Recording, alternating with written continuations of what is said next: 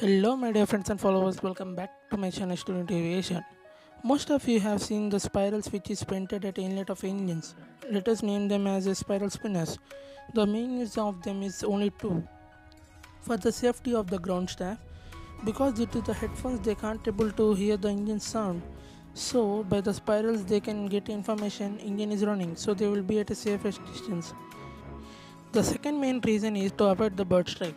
By seeing the spirals at the inlet, birds will get scared, so they will stay out from the engine inlet.